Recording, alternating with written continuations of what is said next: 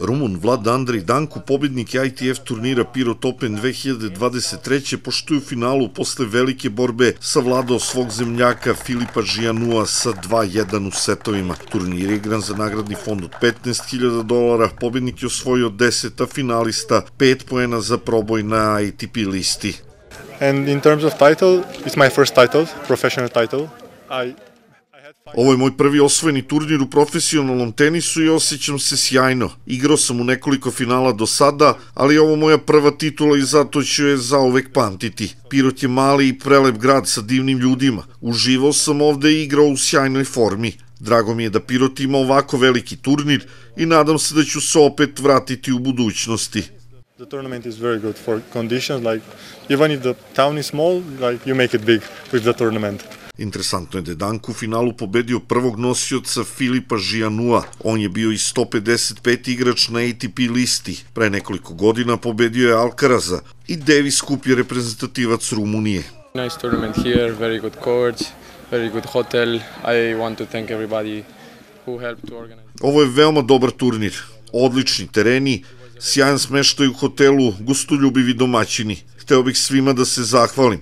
Izgubio sam finale, ali je ovo bila sjajna nedelja za mene. Imao sam tešku godinu sa mnogo povreda i evo polako se vraćam kroz ovakve turnire. Već narednog vikenda igram za reprezentaciju Rumunije u Davis Kupu protiv reprezentacije Tajvana.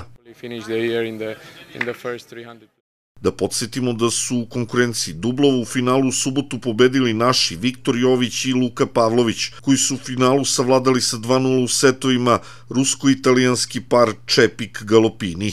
Posle sedam dana sjajnog tenisa, supervizor turnira Marko Petrović ističe da su utisci sjajni. Ovo je najniži nivo profesionalnog tenisa, često ima velikih propusta. Organizatori Pirot Opena su se potrudili da sve dovedu do tančina i na najbolji mogući način su reprezentovali Pirot, Teniski savez Srbije i srpski tenis. Većnik Bojan Ranđelović podsjetio na sve ono što je grad učinio da ovaj turnir izgleda ovako da pre nekoliko godina i sami ste znali u kakvom je stanju bio ovaj teniski te, e, teren, tadin upravljanje bio, bio dat teniskom klubu, pre dve, tri godine upravo grad Pirot preuzao teniski teren i dao on upravljanje sportskom centru, određeni novac je uložen u infrastrukturu, nabavljen je tenisit, ovaj, sređen je ovaj teren i ovaj teren, sređene su tribine, i infrastrukturno ovaj teren zadovoljava sve moguće uslove, zahvaljujući gradu Pirotu i sportskom centru, da se upravo organizuje ovakav ITF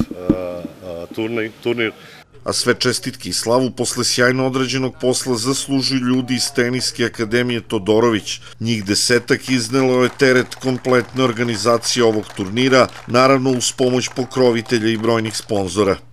Grad, Teniska akademija Todorović, sportski centar, mnogobrojni sponzori kluba i, i, i sama teniska, teniska federacija, odnosno Teniski savez Srbije uh, su omogućili da ovaj turnir izgleda ovako kako izgleda.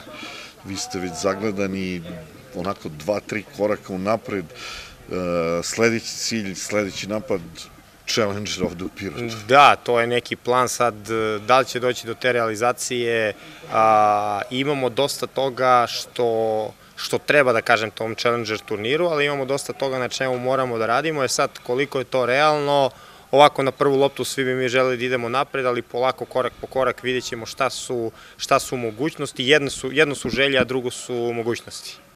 Zašto da ne? Nadamo se da će Pirot u budućnosti dobiti Challenger turnir. Na Pirot Openu 2023. godine gledali smo sjajan tenis. Nažalost, ostaje konstatacija od prošle godine. Šteta što mečevima nije prisustvovalo više gledalaca.